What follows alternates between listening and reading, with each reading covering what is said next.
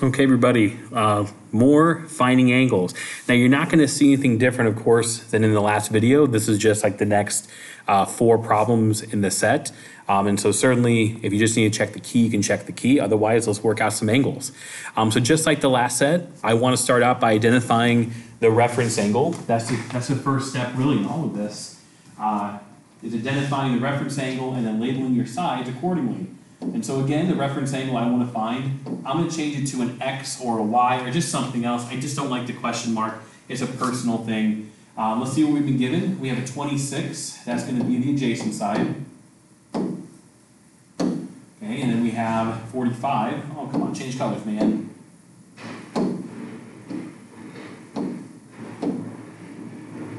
Okay.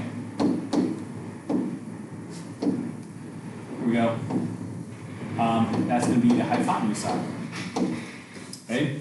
Um, so in terms of setting up our work, we have the adjacent hypotenuse to work with. Um, so let's start with like the reference triangle and the actual triangle. We know those are similar, and so we can pull ratios that we know are going to be the same. Um, we have adjacent and hypotenuse, so it's going to be A over H.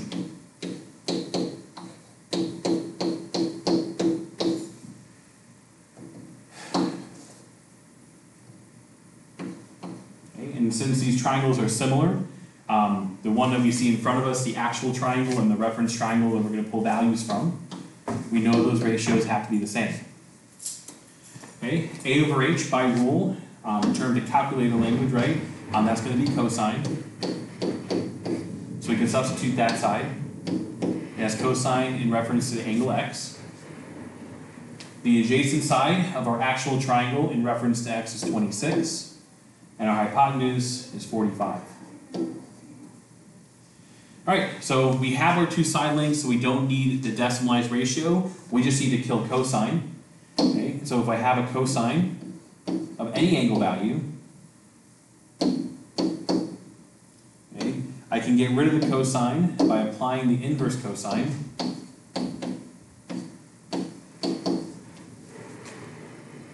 Okay, uh, but of course I apply it to one side, I have to apply it to the other, and so we got to take the inverse cosine of our side ratio value 26 over 45. Okay, um, by rule, the cosine values cancel, or the cosines, excuse me, cancel, um, leaving us with just the x degrees. And so we find the inverse cosine of 26 divided by 45, the ratio, we should have our angle. So 26 divided by 45 first, and then we take the second cosine, the inverse cosine, and our angle should be about 54.706 degrees. All right, number two, angle first, let's do it. Okay, so that's my reference. Right, um, I'm gonna call it y this time, getting a little sneaky. All right, so we have 54, that's gonna be our adjacent side. Then we have 51. Okay, 51 is gonna be our opposite side. Okay, so we're dealing with adjacent and we're dealing with opposite. That feels like tangent to me, but let's go through the proper steps. Um, so we have opposite over adjacent equals the same ratio for our real triangle. Um, this is of course in reference to angle x, or I'm sorry, angle y this time. Okay, over A converts to tangent.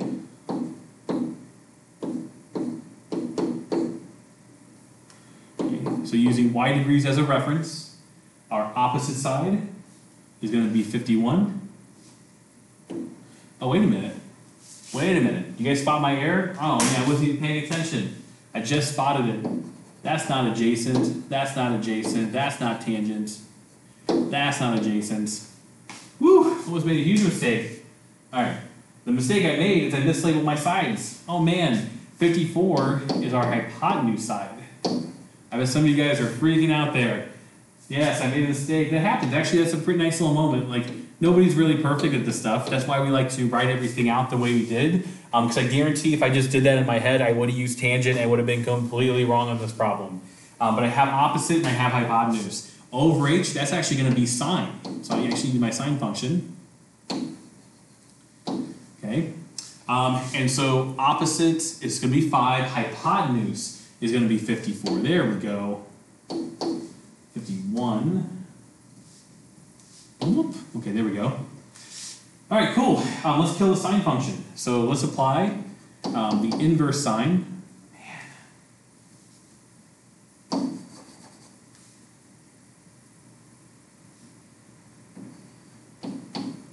Okay, so let's apply the inverse sine um, to both sides of my equation. So to the sine, mm, mm, mm.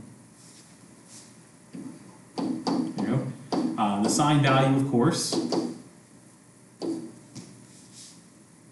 um, of angle y. Uh, but we also have to apply it to the other side of my side ratio, 51 over 54.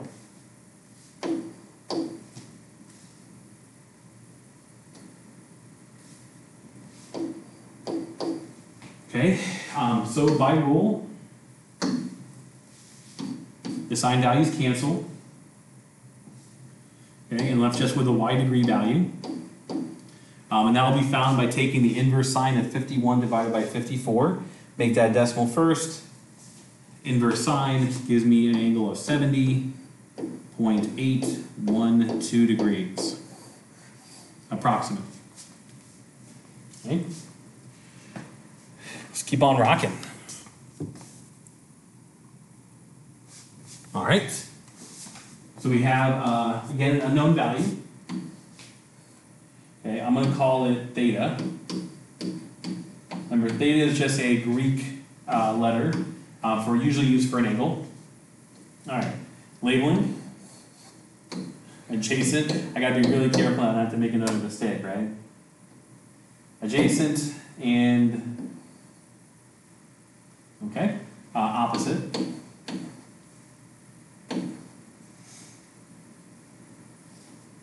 Okay, so adjacent opposite, I shall write that as over A with a matching ratio. That's going to be a theta.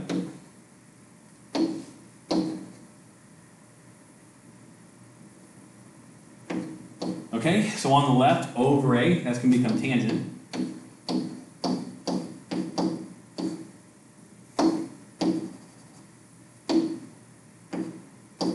There we go. So tangent of theta, using theta as a reference in my actual triangle, my opposite side is going to be 34, and my adjacent side is going to be 39. Okay. Um, we have both side lengths, and so we really have to find the angle, which means we got to kill off tangent, which sounds very tragic, but that's the way it is. And so we'll apply, we'll apply using a different color machine. Thank you. Oh, okay. Well, we'll have to deal with it. Um, so inverse tangent of the tangent of theta.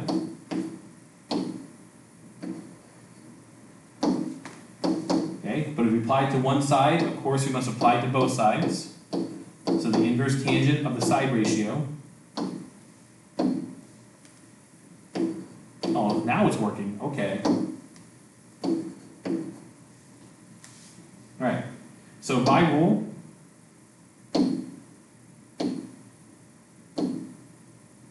okay, by rule the tangents cancel, leave me just with the angle. And so if I find the inverse tangent of 34 divided by 39, so I'll run the decimal first, and then inverse tangent, uh, I get 41.082 degrees. All right. Okay, I'm gonna use theta again. I like theta. Um, so here's one of those examples where I have all three side lengths. Um, and so I just had to pick a couple to work with. It doesn't really matter which ones. Um, I'll work with a hypotenuse directly across from the right angle. Um, and I'll also work with, let's say, adjacent. All right, A, D, J. Oh, man. A, D, J. There we go. All right, so let's set up our ratios. Okay, um, so reference triangle. Man, come on board. We're almost to break. We're so close. Just stick with me a couple more hours here. Okay. So on one side I have my reference triangle information. On the other I have my actual triangle information. Um, let's set some ratios. Um, so I'm using adjacent and hypotenuse. We could have used opposite, but I just chose these first. Um, so I'm going to go A over H of an angle equals A over H of an angle. Um, so theta is going to be that angle. So A over H becomes cosine. Okay, so if we use theta as a reference, uh, the A value is 33, pulling that right off my triangle. And then the hypotenuse value, the H, um, there's going to be 55.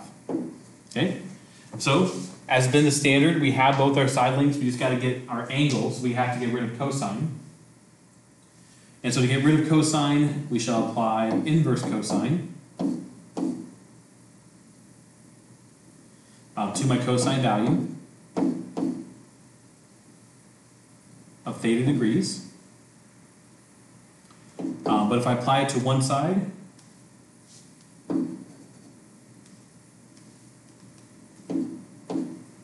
I have to apply it to the other.